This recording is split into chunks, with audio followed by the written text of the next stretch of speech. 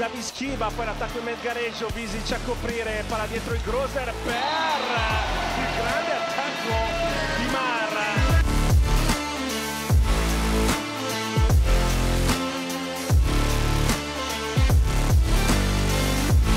La ricezione di Mar, eh, Visic dietro per Groser, battezzata così Groser?